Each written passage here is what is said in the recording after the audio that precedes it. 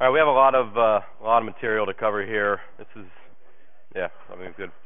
So this is actually a, a condensed version of a tutorial that I've given that's three hours. So we're going to be going through it a little bit quick, but feel free to ask questions. I'm going to go ahead and get started now so that we can get a little bit more time in because nobody cares about the front end stuff anyway.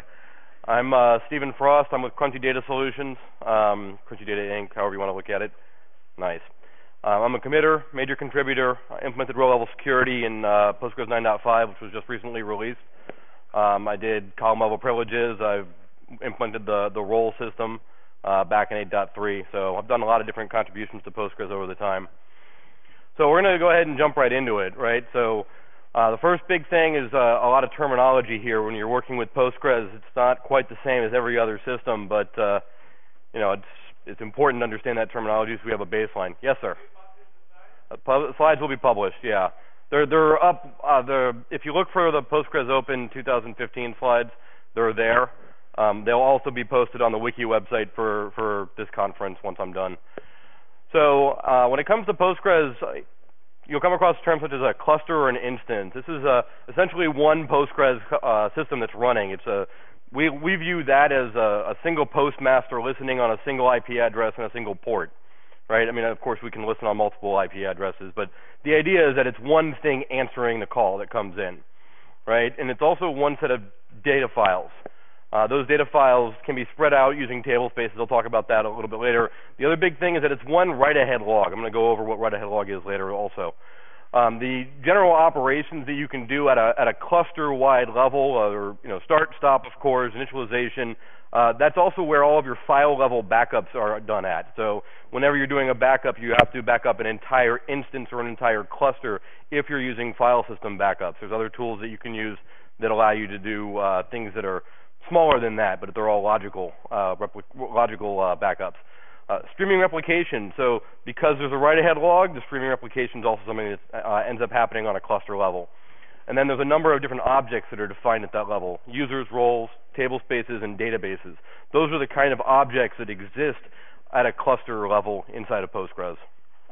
When it comes to what is an actual database in Postgres land, so a database uh, lives inside of a cluster, and you can have more than one database inside of a cluster. There's a few specific permissions that you're allowed to uh, grant at a database level, which include connect, create, which is talking about the ability to create schemas, which I'll talk about next, um, as well as the ability to create temporary objects using the temporary bit. When you're talking about a schema, schemas are namespaces inside of databases. So this is kind of this another level of this onion that we're working towards here. So you have on the outside, you have the, the instance or the cluster. You then get to databases, and then inside of databases, you have multiple schemas. Schema level permissions include create and usage. So create means that you can now create objects, which I'll call principal objects, inside of the database. Uh, you then have the ability to use the uh, use the schema with the usage option. Um, those permissions are at a schema level, so now you're talking considering like a directory, right? You know whether you're allowed to modify the directory, add things into the directory, uh, step into the directory. Those are what would be analogous to create and usage when you're talking about schemas. Table spaces are locations for other data files for Postgres. So if you've got five different mount points on your system, you could have five different table spaces that correspond to those different mount points, or maybe you'll have four additional table spaces along with the default table spaces that exist inside of the system to begin with. They are, cluster level, and what that means also is that they can exist with multiple different um, database contents inside of them.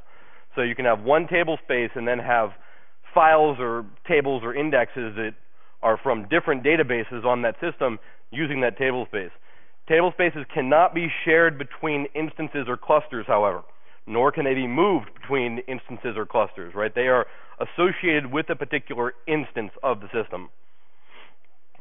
All right, now I told you I was going to tell, tell you about write-ahead log. This is a, a extremely important part of any uh, any database that uh, has uh, write consistency and also guaranteed write. So the write-ahead log is important because that's where every write to the database goes first.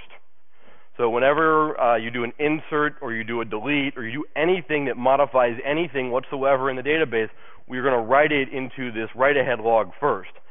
We then, uh, when you go to actually do a commit, we go and make sure that those changes have been committed to disk. That means they've been f-synced all the way out to disk. And only once that happens do we acknowledge the commit and tell the application that said that asked for the commit that we've actually accepted those changes and have committed them to disk and will not lose them after that. All of the changes to the write-ahead log are CRC'd um, naturally, and the changes to um, the actual data files in the background. So we're talking now about the table spaces and the other files that exist inside of the system. Generally speaking, those changes are done in the background, right? That's what we want to have happen. We want to accept the changes through the write-ahead log, and then they get written out to the individual files in the background over a period of time during what's called a checkpoint, which I'm going to talk about next uh, here in just a minute.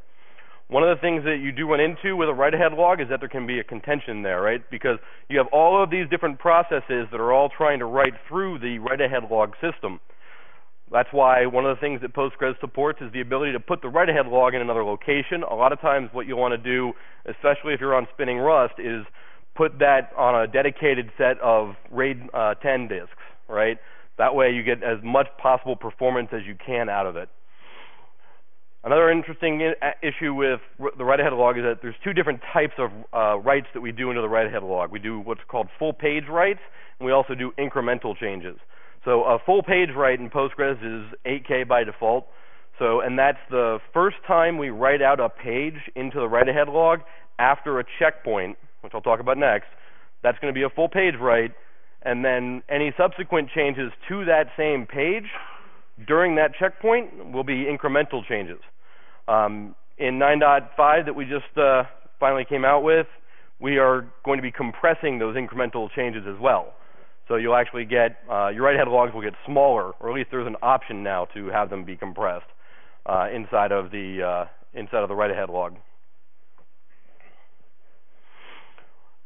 Just to kind of hit on it again, what happens after we have a crash, right? So because Postgres has written everything into this write-ahead log first, what happens after a crash, so the database system gets killed or goes down for whatever reason, when it starts back up, it's going to look and say, okay, where was the last point in the write-ahead log that we had a checkpoint, right? A checkpoint is what we have when we actually have written everything out that was pending in the write-ahead log out to the heap files and synced them all, right? Once that's done, we make a mark inside of the write-ahead log saying, okay, everything's synced to this point. Anything that hasn't been synced after that checkpoint is what we're going to replay when the database system starts back up again. So when the database system starts up, we read through the write-ahead log and write all of those changes out to the heap files because we can't trust that they were there because we didn't f-sync them ourselves. We didn't know that we told the kernel we have, you know, that, to write this data out, and we know that it's done. So a checkpoint by default happens in Postgres every five minutes. Um, what's happening here is that it's going through all of the dirty pages that we have and pushing them out to disk and f-syncing them. And what we try to do is we actually try to spread out the time that we're doing those f-syncs over that five-minute period. So it can be forced for a couple of different reasons. Um, one of the reasons that a checkpoint might be forced is that we've run out of room inside of the write-ahead log area that we've been provided to write more write-ahead log. Right. What this means is that there's a, there's a option uh, checkpoint segments inside of Postgres that I'll talk about a little bit later. But what's happening is that you know we don't want to just write out as much write-ahead log as we have available to the point where we fill the disk, because if the disk ends up filling out on uh, filling up on your xlog volume, we can't accept any more transactions, right? Because we can't write out to the write-ahead log first, which is what we have to do. So there's a configuration option that says, okay, we're going to take and work with a subset of the amount of disk available, and once we run out of that space, if we haven't hit that five minute mark and have been able to and are able to reclaim some of the uh, X logs that were already written, we will forcibly start in a checkpoint, which can be very expensive. And what will happen is that that'll immediately basically start f-syncing everything out to disk, right? So that we can get back write-ahead log space so that we can start accepting transactions again. So again, if, if you have questions, you know, please don't feel too afraid to stop me, but we do have a lot of things that we're going to go through. All right, so The Postgres development group provides a set of packages both for uh, Red Hat and for our, uh, in, in, our, in, terms of RPMs, as well as uh, Debian-based systems. Uh, those are really the principal ones we have now. There's also the, the Windows ones. I'm not going to talk too much about that because we're at scale. Um, just saying. So uh, both sets of uh, packages from the community allow you to have multiple major versions of Postgres installed concurrently and allows for smooth major version upgrades using the PG upgrade tool, which is uh, really quite handy. Uh, in all of the systems that I run today, this is what I use, right? So I use everything from the PGDG uh, because those are the ones that are up to date, they're well maintained, they're supported through the community mailing list, and they're updated. Uh, the releases of them are updated in coordination with the Postgres team. So whenever a, security change or anything is coming out, we uh, we coordinate that with all of the different packagers uh, for Debian and all the Debian-based systems and Red Hat and all the Red Hat-based systems, um, as well as the Windows uh, Windows builds. So on a Debian or Ubuntu-based system in this kind of an environment, it's apt.postgresql.org. So you would add that into your sources list. Um, you can use LSB release if you want to.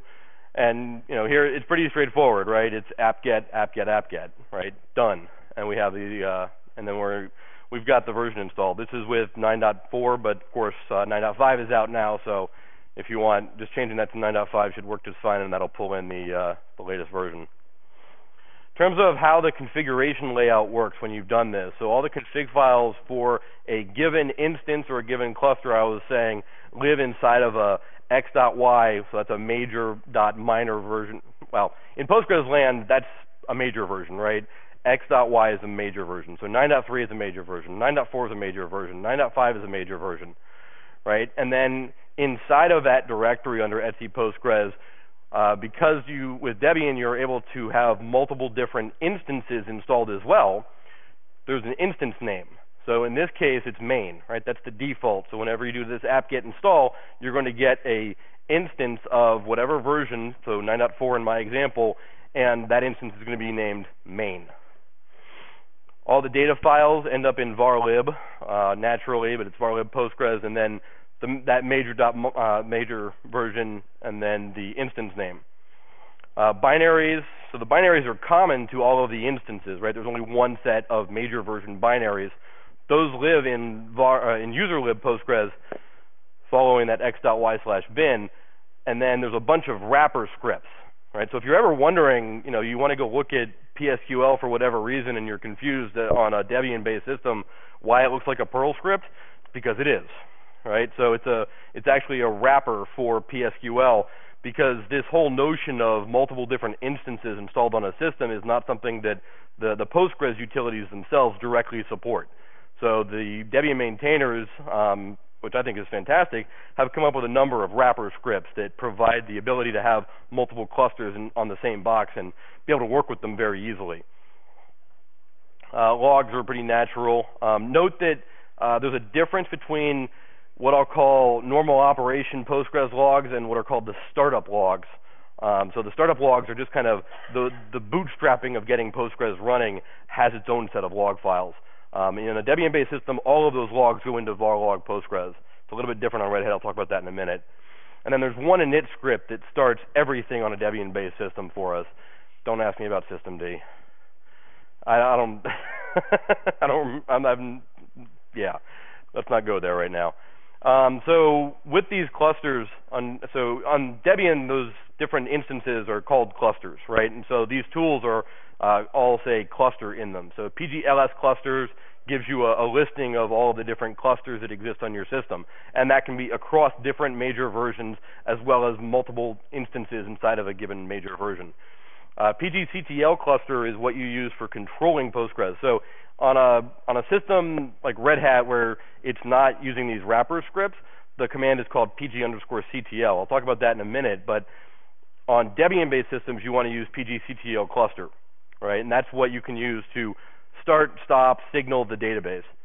Uh, generally, you want to signal it to perhaps reload files, uh, reload the configuration files. And then there's a dash dash cluster option so this is one of those cases that's kind of weird, right? So this dash dash cluster, that's two dashes, sorry. specifies which option or which cluster to work on inside of a, of a Debian-based system. Um, and here you can see I've got it dash dash cluster 904 slash main. So the way you specify it, it's always x.y slash and then the instance name for basically all of the tools. If you don't specify it, there is a default that's picked up and used, um, which generally is whatever the most whatever is running on port 5432, which is the Postgres port. That's where the default is going to be. And here I can you can see that it also tells you what the data directory what the log file is when you're using PGLS clusters. There's a bunch of different configuration options that are available. I'll talk about that in a minute when it comes to Debian-based uh, clusters. All right, so now for a Red Hat-based installation. On Red Hat, you're using yum.postgresql.org, um, and this, you know, whatever RPM-based you know, system you want to use. Um, when you install it, it will go ahead and initialize the cluster. Um, you can run multiple different major versions in uh, in parallel. It's a it's a little bit ugly in my opinion, but it does work.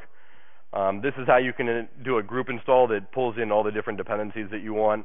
And then here you have to, uh, sorry, on a, on a Red Hat system, you don't get the database initialized. You have to do this in initdb yourself.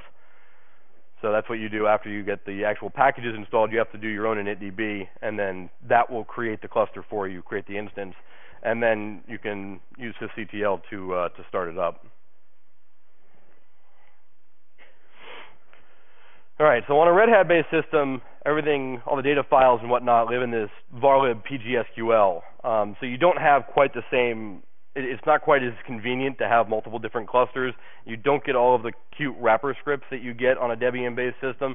All of the configuration files that I'll talk about here in a minute live inside of the data directory on a Red Hat-based system, which personally I don't like, although that's kind of the way Postgres operates when you're using it um, when you install it from source also. Uh, binaries go into this user dash or user slash pgsql dash x dot y slash bin, which I find bizarre. Um, and then the logs are in varlib instead of varlog. And there's actually two different locations. So you have a startup log that's here in this kind of major version directory, and then the actual regular operational logs are in data slash pg uh, underscore log on a Red Hat based environment. I, I will fully admit I'm not a Red Hat guy, so take all of this with a little bit of grain of salt. I went through it and did it, and it's where I found that everything, but just be aware of it. Oh, and you also need an independent init script on uh, on a Red Hat based system for each of the different major versions you want to run. All right, so when it comes to configuring Postgres, there's kind of uh, really four major uh, configuration files. There's the main what I'll call a main configuration, which is postgresql.conf, and that's where you configure a lot of things like how much memory Postgres uses, how much, uh, what port it listens on, all of that kind of information. But then when you want to get into, okay, the question of how do I connect to the database? What do I do? You know, how do I get users connected? What are they doing? So to do that, what you have to use is PGHBA and PGIDENT.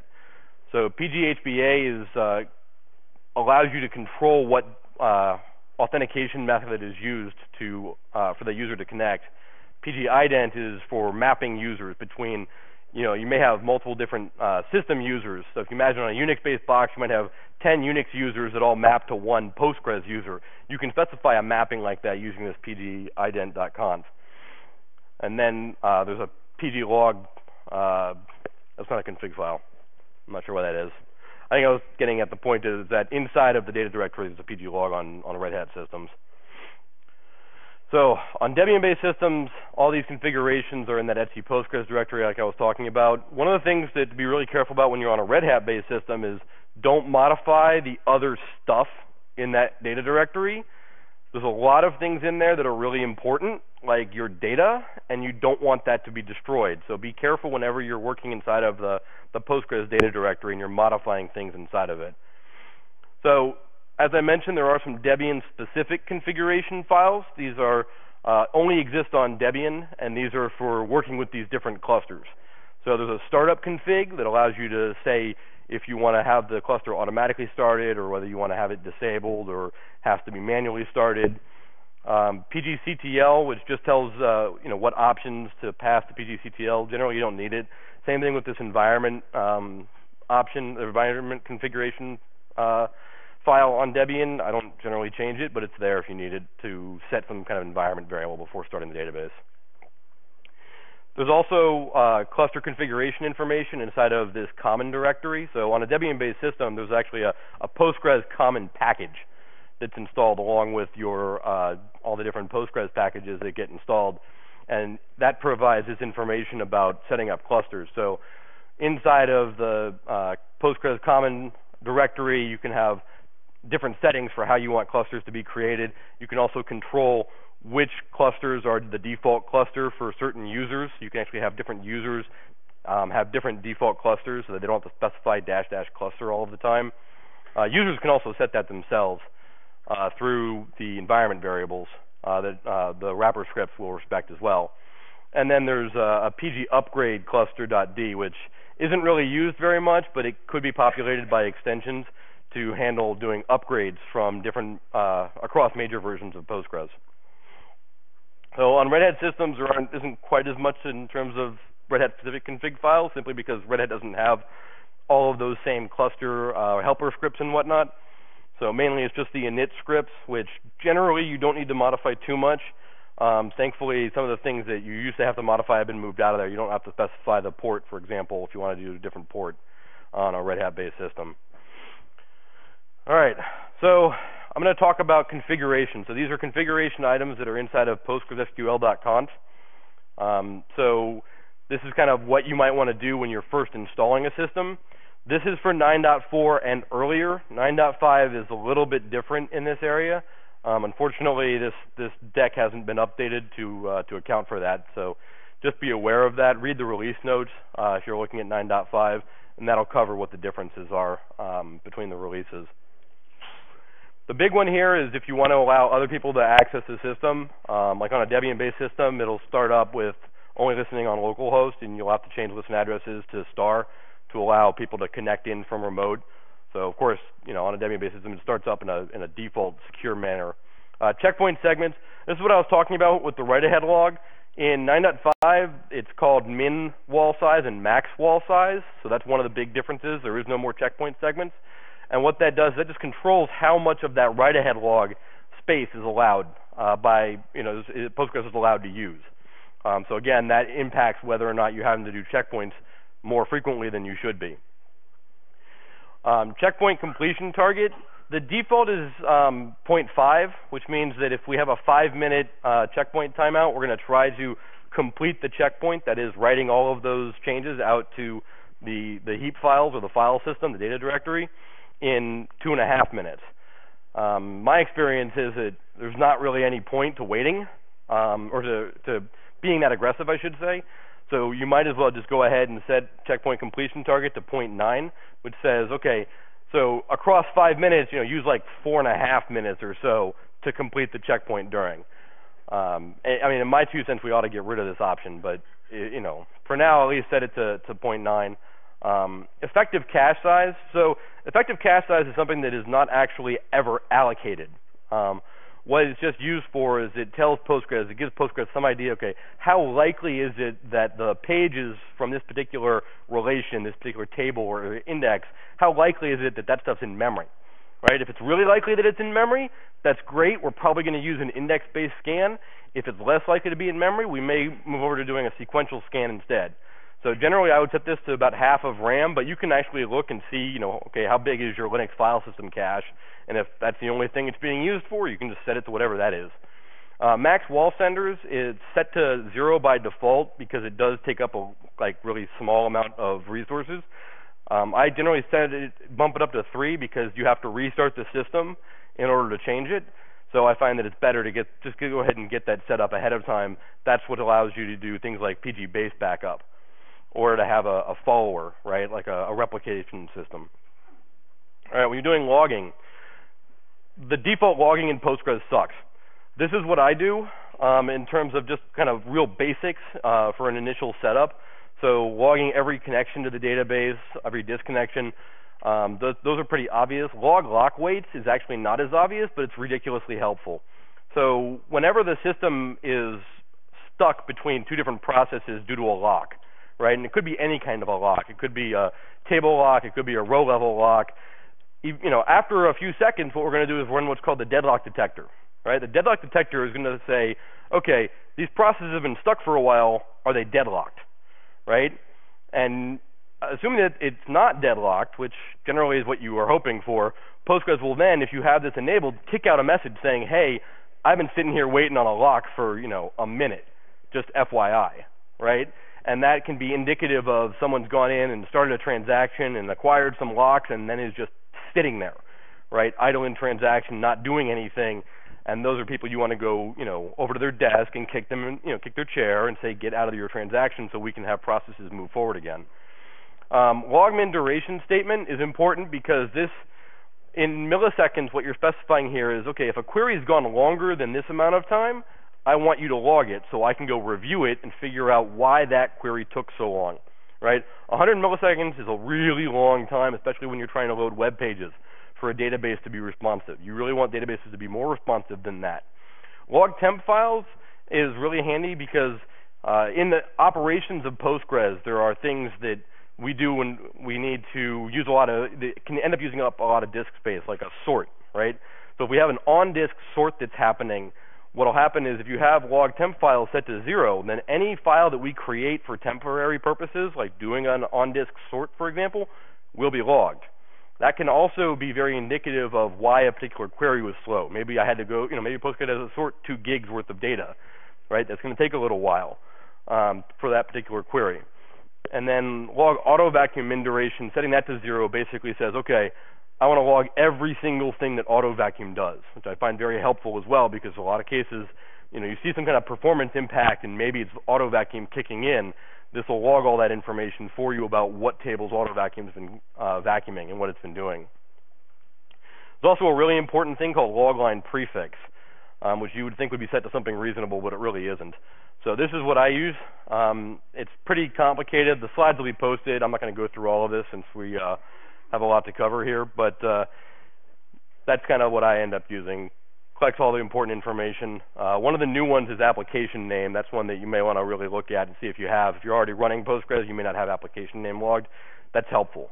Uh, all the Postgres applications will set that for you. You can set that for yourself also. Whenever you're connecting to Postgres through libpq, you can set your own application name during that connection string, and then that information shows up in the log as well as in some of the informational tables inside of Postgres. All right, so here's PGHBA in a nutshell. Um, everything's read top to bottom. So here we have the different uh, you have different connection methods here on the left. So local means a local Unix socket. You then have a, you, you can specify a database, or you can specify all databases, the user, and then the the method. Um, if it's over the network, you have an address setting, and then there's a bunch of different options that you can set. Addresses can be either v4 or v6. They can include CIDR notation if you want. Um, there's a special option called reject, which if you hit that when you're reading through the file, means Postgres will just kick you right back out. Um, and so that allows you to kind of have cutouts inside of your Postgres config, your Postgres pghba.conf. In terms of the actual different methods that are listed there, these are the different methods that exist inside of the uh, that are supported by Postgres. Peer is what I'm talking about when I'm talking about Unix sockets. So that's we're just going to ask the kernel who is this person that's connecting. We're going to get back the Unix username, and that's what we're going to allow you to authenticate as. Um, and then you can map that to multiple different users using that PG ident config file like I was talking about. GSS is, is Kerberos. Um, it's also uh, SSPI on uh, on Windows. So if you're setting up a pghba.conf on Windows, you want to use set it to SSPI. But if you're using it on a, on a Unix box, Linux box, which hopefully everybody is, you're using GSS. Um, works really well with MIT or, or Heimdal, uh, Kerberos. I've, I've played with both and been happy with it. You can also integrate it with Active Directory. So Active Directory is actually Kerberos underneath. You can have a Linux box joined to your Active Directory domain, or you can have an independent realm that has a, a trust relationship between your MIT or Heimdal realm and the um, Windows realm, and that allows you to do single sign-on with Postgres, which is really, really handy. Uh, there's also the ability to do uh, certificate-based installation or certificate-based certificate-based authentication. Um, this is using SSL client-side certificates. So in, when you're doing that inside of your PG ident, what you're mapping there as the system username is the uh, common name, and that's what you use to map to whatever you want, whatever you want that user to be allowed to log into on the Postgres side, whatever Postgres username. Um, one of the things that's interesting that I've never played with, to be honest, is that, or that I've never done before, but it works just fine, is that when you're talking about GSS and Kerberos, the system name is the user at Realm. So it'd be like, you know, sfrost at mit.edu or something like that. You can have that as a Postgres username inside the database if you want. You don't have to map it to a simpler name. I typically do, but you don't have to. You can set it to just be that, and I've seen people do that, and it's kind of interesting and works well in, in large environments where you have a lot of different people across a lot of different realms. These are some methods that work just fine. Probably most of what you're using. Um, I don't like them. I much prefer the stronger authentication methods I discovered. Uh, MD5 is your stock kind of username password. That's probably what most people are using. Um, it it works. It's not what I would recommend, but it does work. PAM is complicated, so the reason for that is that Postgres doesn't run as root, so you have to set up things like SASL um, if you want to have Postgres be able to authenticate users using PAM um, or using you know using your your password files, uh, etcpasswd and etcshadow. Obviously, with that and with MD5, really you want to be using SSL um, encryption. I, would say just generally you want to be using SSL, but that's just me. We also support Radius um, for anybody who's got some old school stuff that's still doing Radius authentication. Um, Postgres now has support for that. And then there's also the traditional password base, which is just like uh, you know, password with SSL is like OpenSSH, right? I mean, you you feed the password over to the well with password-based auth. You feed the password over to the server, and the server checks it against your password files, and and you're in, right? So that's that's how that works. Um, these are methods I don't really like. Um, LDAP is it gets a bad rep from me simply because I know that if you're running LDAP 99% of the time, you're running Active Directory, and you should just be using Kerberos with Active Directory instead of using LDAP authentication. Um, there are some environments where, yeah, you're running Open LDAP and you actually have an LDAP and you want to be doing binds against it for authentication purposes. But the other problem is that, again, you're passing the credentials of the user through the system right? Whenever you're using uh, LDAP or password or MD5, the user's password gets exposed to the server. It has to. Um, with Kerberos and GSS API, that doesn't happen, which is one of the really nice things about it. Same with uh, SSL-based certificates. IDENT just shouldn't be used, and Trust really shouldn't be used either. They're just not they're not secure by any any way, shape, or form, in my opinion.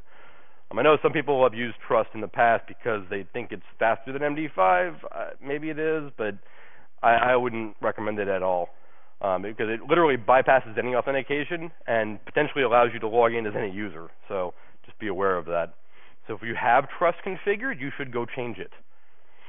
All right, PG ident. So here's what I was talking about before, where you have a, a, map name. That's what you can specify in your PGHBA. So you can have multiple different mappings depending on the authentication method that you're using.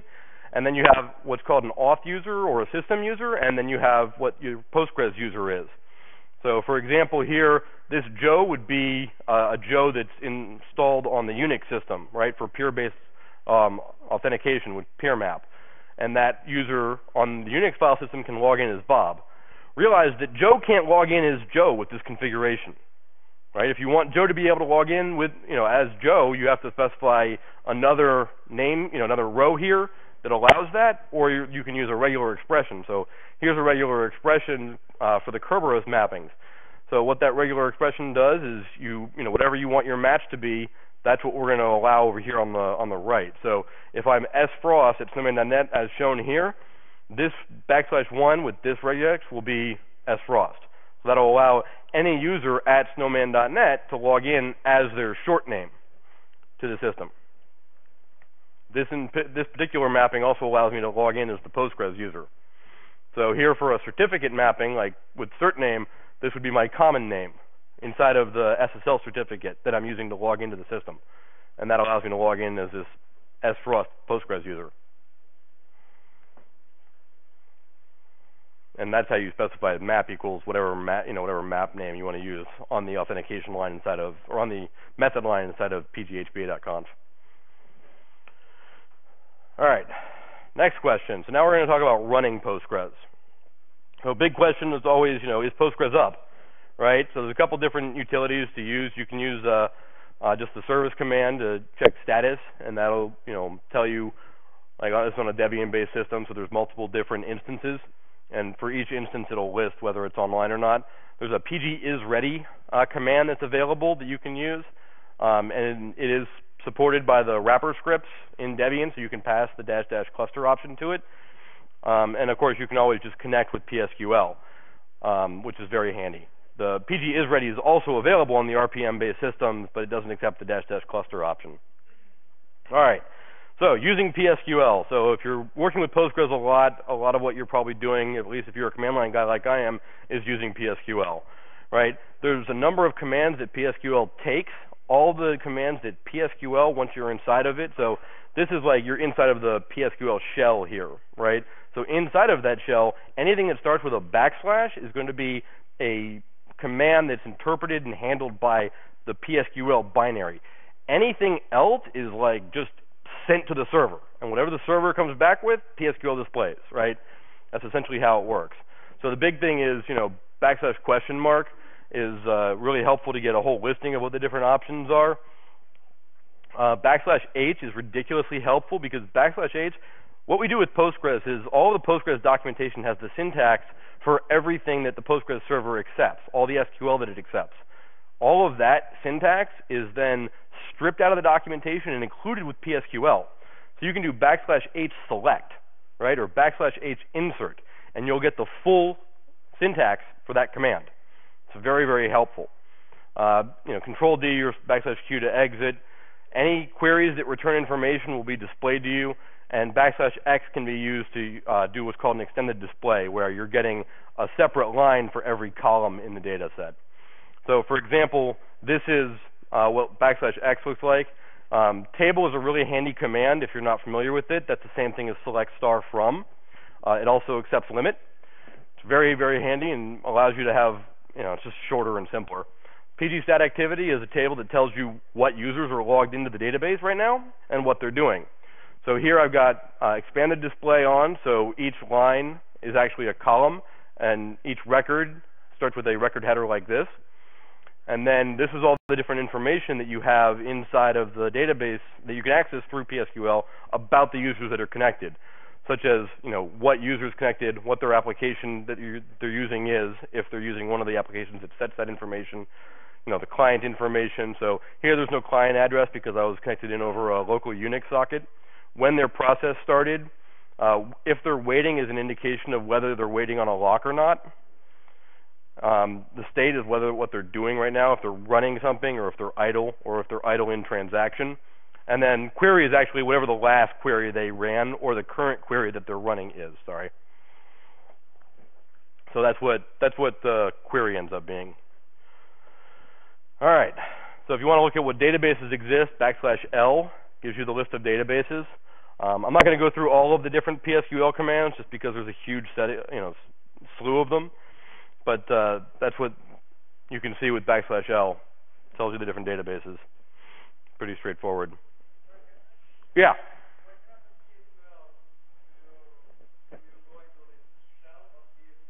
Yes. You when you are when you run PSQL, you go into a shell right, a PSQL shell, and that's where you can issue backslash commands and then do selects and queries and whatnot. If you want to send a command to PSQL from Bash, right, you would do uh, dash C um, is the option that you pass to PSQL. So you can just do on the command line on a Bash line, you can do PSQL dash C, you know, and then double quote select star from whatever end double quote, right? And there's a whole bunch of different options there for uh, dealing with formatting, dealing with table alignment, dealing with headers and footers. So you can, you know, you can strip everything out and have like a select query that runs underneath of Bash or runs PSQL and just gets whatever that data element that you want out is, which is, you know, a lot of times what people are doing, and then you can shove that into a Bash variable if you want. Works just fine. Yes. It's a toggle, yes. Yeah, backslash x. Once you've turned that on, it'll stay that way forever until you turn it off. Yes. backslash question mark is, you know, I, I think I'm not sure what you mean by what command you're looking for.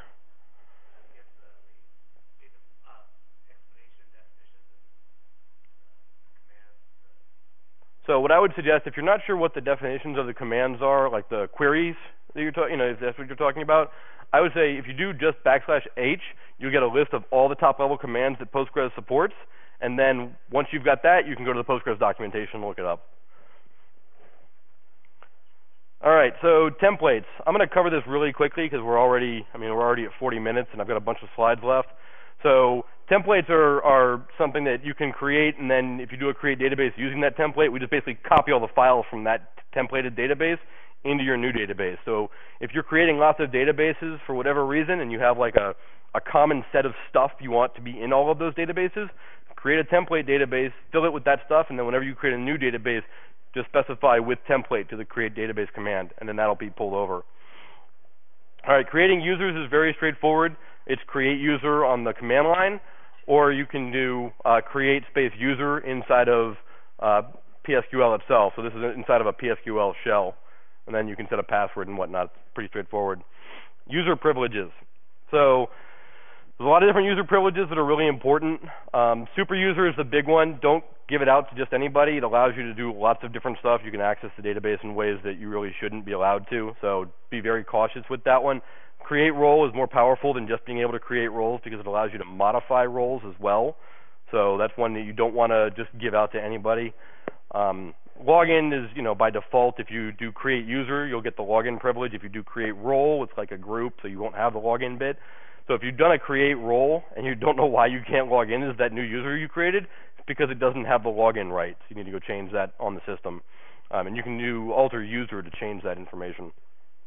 And if you're curious, but how to use alter user, you do backslash h alter user. Um, and then you'll get that information.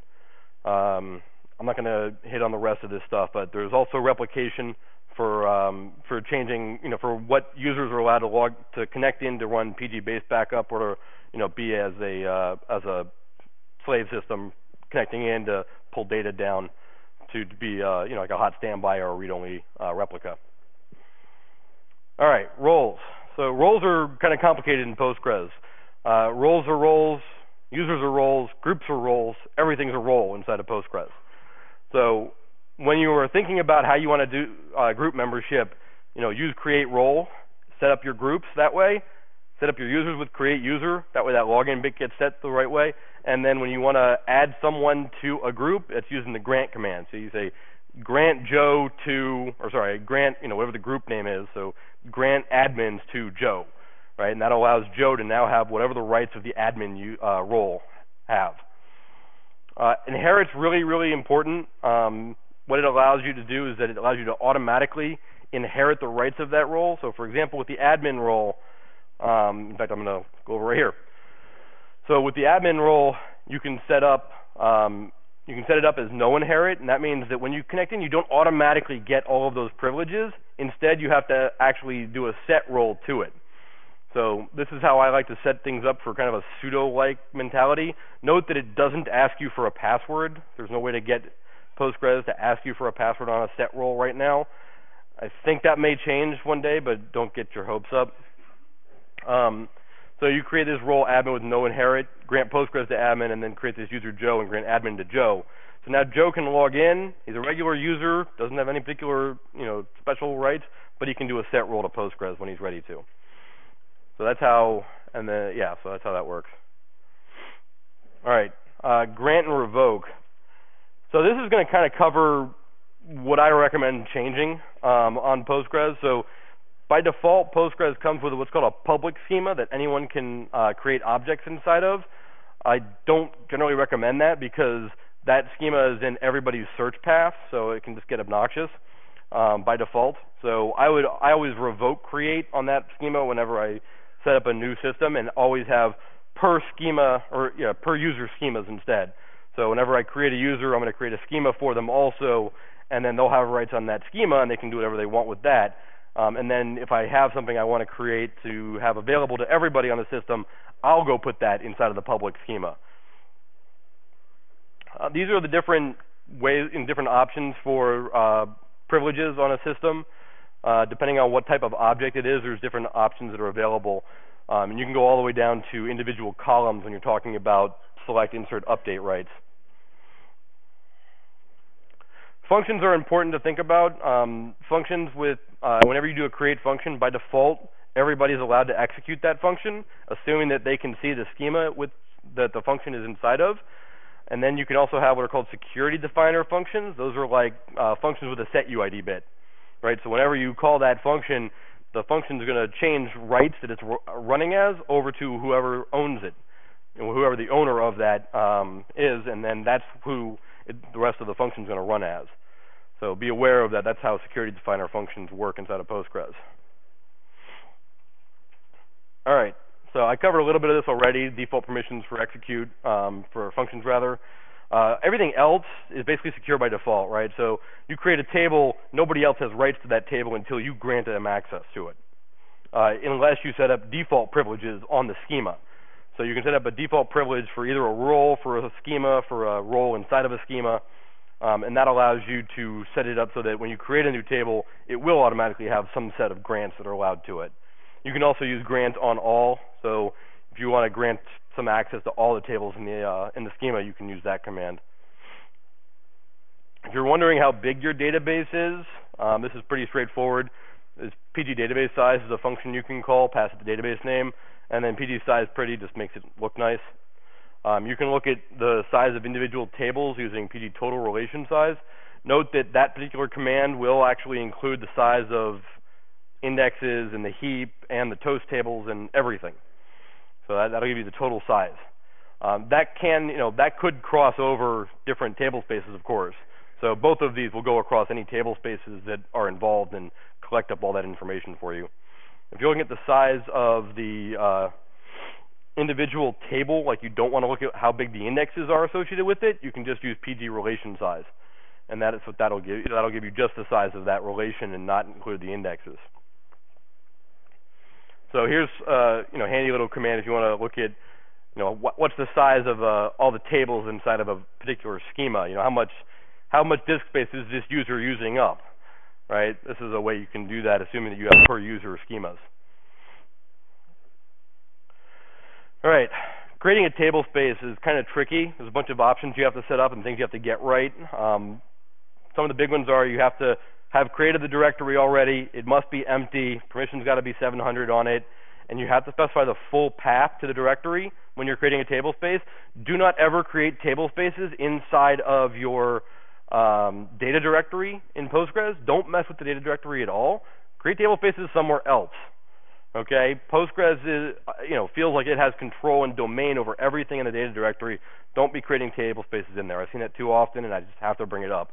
Um, also, I, I strongly recommend you don't use a mount point directly, right? Create a directory underneath of that mount point and then use that as your table space. Um, in my opinion, that's just best practices, but I think there's I think there's some good reasons for it also. If you want to get information about the table spaces, that's backslash db on your uh, at your PSQL command line, and that'll give you the location. These ones don't have location information because they live in the Postgres data directory, so that's like varlib postgresql 9.4 slash main on Debian. And then you can use PG table space size to get the size that Postgres thinks of all the objects inside of that table space. Uh, dropping a table space, you have to have the table space be empty before you can drop it. Um, there's some handy commands that allow you to move sets of objects inside of, you know, from one table space to another. Um, but other, you may have to actually connect to multiple different databases to move all the different objects or to drop all the different objects. And once you've dropped everything inside of the table space or moved them out, then you can actually go and drop the table space itself. All right, file-based backups. So PG base backup with WAL-receive is really, really handy for doing simple backups. That does require that max WAL senders I talked about before. It's one time and it does the whole database, so there's no incrementals or anything that are available with that, um, which isn't great. And you have to have the write-ahead logs that um, were done, uh, were created during that base backup in order to restart the system. So when you run PG base backup, there's an option there to stream or to pull down all of the X logs. Make sure you use that. I recommend the streaming option. Um, JD did a talk yesterday. Uh, for those who weren't here, sorry, but he did a talk yesterday about other back, you know, more about backing up the database and using pgdump. Um, I'll talk about that here in a minute. But one of the things that's also important is that this includes all the data files and all the indexes and everything. So when you do a restore, you don't have to recreate indexes or anything. You do when you're using something else, like when you're using pgdump, for example. So the other uh, main one is using logical-based backups. This is where you use pgdump and pgdumpall. Um, these end up being essentially text-based uh, dumps. They don't include any indexes or anything. The entire system has to be repopulated. All the indexes have to be recreated when you're doing a restore, so it's kind of painful. All right, backups don't work unless you restore them, right? So just best practice, make sure you're testing your restores, make sure you're actually doing restores and making sure that they work. Consider multiple different options for how to do a restore. Um, if you're doing a restore with PG base backup, it's pretty straightforward. PG base backup creates a tarball for you. All you got to do is extract that tarball. All the data should be included. If you did the WAL options like I was talking about, all the WAL files should be there as well. Um, and that'll have all of the data since the, you know, uh, any data that was created after the backup will be gone, right? Unless you save the write-ahead log um, and can replay the write-ahead log. Uh, you talk for an hour just about backups with Postgres. So if you have questions about that, feel free to ask me. All right, PG Backrest is a really, really nice backup utility. It's available here, github.com, PG Masters Backrest. Um, it's for file-based backups, and it handles all of the craziness about write-ahead logs and everything else is handled for you. Um, you can do, and it also supports full point-in-time recovery. It's parallel. You can do differential and incremental backups. Really nice utility if you're looking at a large uh, system. I strongly recommend looking at PG Backrest as your backup solution. Um, these are the settings that you need to set to enable inside of PG Backrest. You can look at, or inside of postgresql.conf to use PG Backrest. You can uh, find all that information from the PG Backrest uh, web page as well. I'm not going to cover too much of it. Um, this is how you configure PG Backrest. So there's a etcpgbackrest.conf file.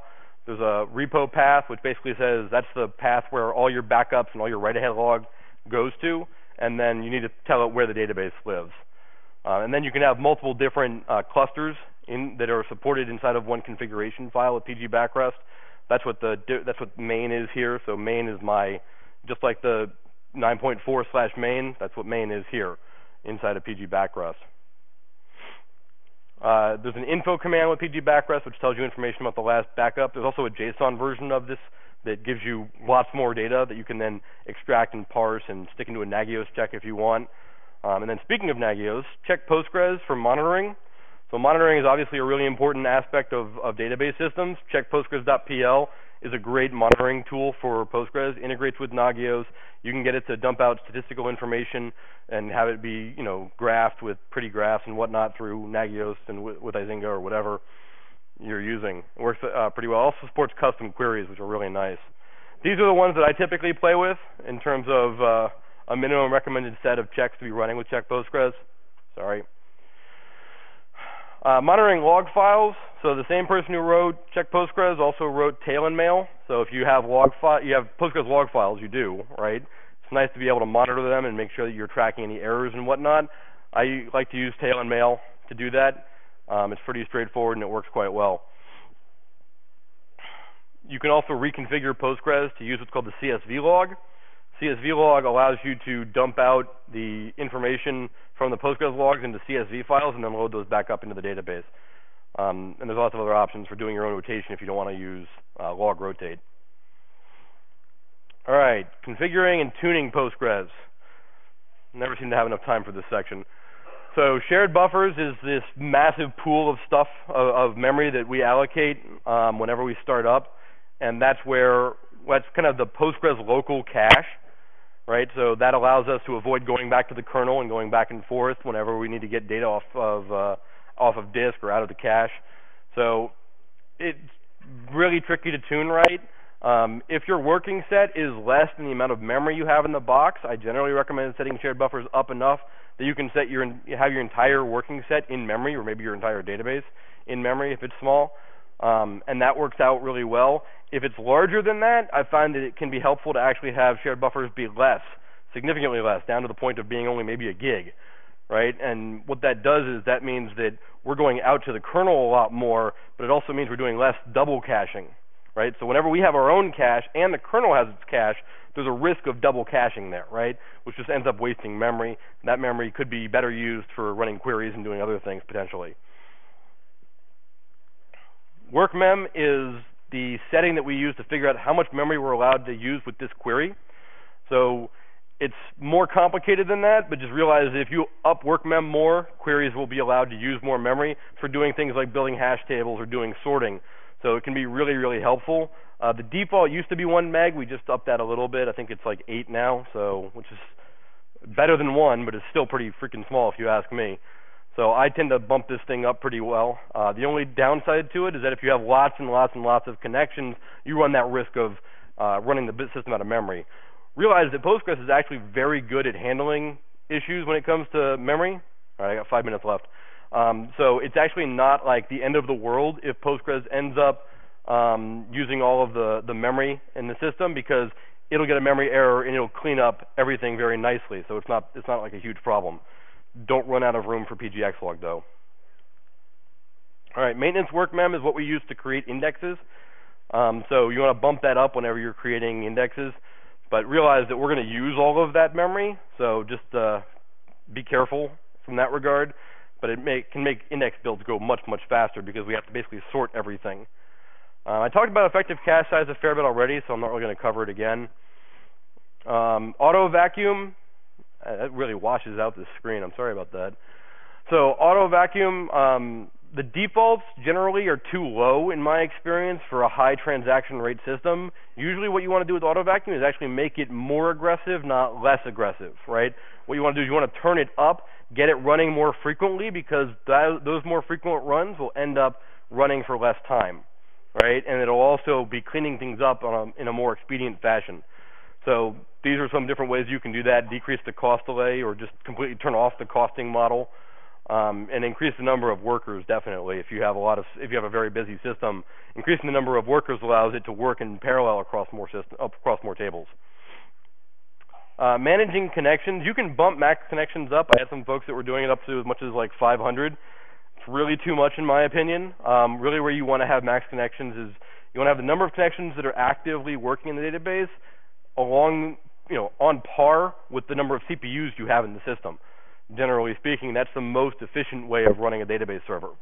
One of the ways you can do that is to use what's called PG Bouncer, right? PG Bouncer allows you to have uh, is, is a connection pooler, which allows you to have all your applications can connect to PG Bouncer, and then PG Bouncer will manage those connections to the database and will um, basically multiplex on top of those database connections. So it's a very effective tool. Uh, PG Pool also works. Um, watch for idle, and especially idle in transaction processes. Those are bad. Uh, because if it's idle in transactions, that means that there's certain processes that we can't move forward with, like auto vacuum and vacuuming and cleaning up dead tuples. Almost done, folks. Managing locks.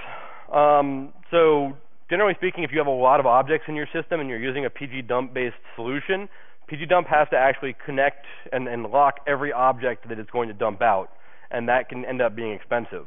So a lot of times I'll actually end up bumping this value of max locks per transaction up some so that there's enough locks available for a PG dump based backup. Um, a heavyweight lock is required for every object that's uh, accessed by a given process when it's connected. So not just PG dump, but your applications as well. Generally, your applications aren't accessing that many different tables at a time, so it's not that big a deal. But be aware that we do create, we do take out a lock. I say heavyweight here. That's a Postgres terminology thing. Heavyweight in this sense means that it's a it's a full level lock. It doesn't mean that it's actually blocking anything, right? Access share locks don't block anything except if you want to like drop the table or something. All right, checkpoints. Uh, I talked about this a little bit earlier, but just make sure that your checkpoints are happening due to time. And if you have that log checkpoints option turned on, like I was talking about earlier, every time we do a checkpoint, it'll say why it's starting, and it'll say when it finished, and it'll give you a bunch of stats about how many pages it had to write out, how many write-ahead logs there were, that kind of information. The big thing is make sure it's always starting based on time. If it's starting based on xlog, you're writing more xlog than you have your system configured to be able to write out to disk in time. So you want to make sure that you, you basically that means bump up checkpoint segments, generally speaking. Um, the larger the checkpoint timeout, a lot of people change checkpoint timeout because you reduce the number of full page writes um, and it also does some other things that are nice in that regard. But the higher up it is, the more write-ahead log that you may have pending when your database crashes and has to restart. And what that means is that the database will take longer to restart because it has to replay everything from the last checkpoint. So if your database crashes and you have checkpoint timeout set to five minutes, it shouldn't take more than five minutes for us to restart. If it's set to 30 minutes, it could take as much as half an hour to restart. Uh, PG Badger is really helpful and handy for uh, generating reports about queries. So if you're curious about what the query time information looks like against your database, um, I strongly recommend PG Badger. There's some configuration options. You can find it all on the web. All right, I have five seconds for questions.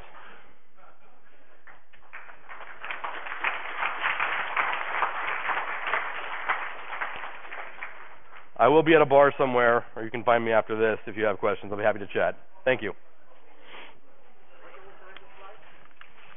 Uh, the, the slides will be up.